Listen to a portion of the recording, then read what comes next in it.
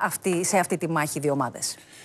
Η πολιτική μάχη του προϋπολογισμού Ιωάννα είναι η τελευταία μάχη πριν το τέλος της χρονιάς και η οποία ουσιαστικά σηματοδοτεί την έναρξη της μακράς περίοδου μέχρι τις ευρωεκλογές. Άρα τόσο ο ΣΥΡΙΖΑ υπό τον κύριο Κασελάκη, στη Βουλή όμως υπό τον κύριο Σοκράτη Φάμελο, το, όσο και η ομάδα των 11 που μέχρι τότε, μέχρι τον προϋπολογισμό θα έχουν αποκτήσει και ονομασία άρα θα τους αποκαλούμε με κάποιον τρόπο υπό τον Αλέξη Χαρίτσι πρέπει ουσιαστικά να κάνουν μία πρεμιέρα η οποία δεν αφορά μόνο την ε, αντιπολιτευτική τακτική απέναντι στην κυβέρνηση όσο και τον ανταγωνισμό μεταξύ τους. Οι 11 δηλαδή πρέπει να πείσουν και έχουν ένα άγχος γι' αυτό να διαφοροποιηθούν από τον επίσημο ΣΥΡΙΖΑ, από τον ΣΥΡΙΖΑ δηλαδή που είναι αξιωματική αντιπολίτευση και να δείξουν ότι πραγματικά έχουν θέση στο Κοινοβούλιο. Έχουν δηλαδή μια διακριτή πρόταση περί την οικονομία και όχι μόνο περί την οικονομία.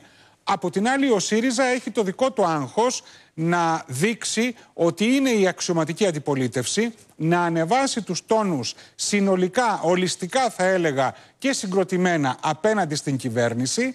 Θα έχει ενδιαφέρον βεβαίως ε, να, θα πρέπει να επιδείξει μια καθαρή οικονομική ατζέντα ο ΣΥΡΙΖΑ και θα έχει ενδιαφέρον αυτό μεταξύ των δύο δηλαδή ΣΥΡΙΖΑ και 11 και για ένα πρόσθετο λόγο. Έχουμε δύο πρόσωπα. Έχουμε τον Σοκράτη Φάμελο και τον Αλέξη Χαρίτσι που θα είναι επικεφαλής ε, της κοινοβουλευτικής ομάδας των 11.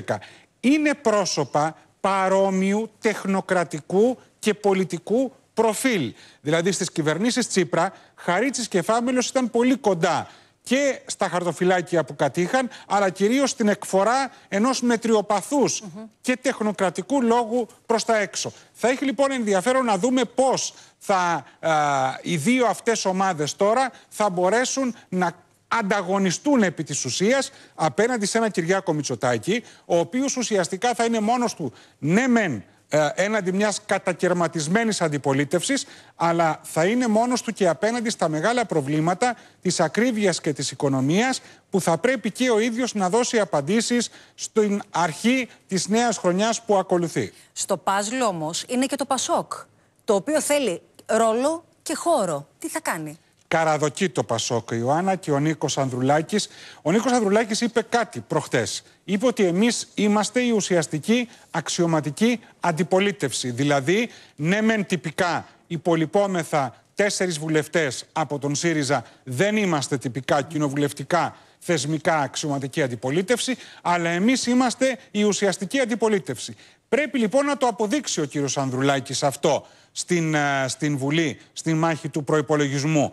Πρέπει δηλαδή να άρει από πάνω του αυτή την κατηγορία που ακούγεται συχνά από τον ΣΥΡΙΖΑ ότι είναι συμπληρωματική δύναμη στη Νέα Δημοκρατία.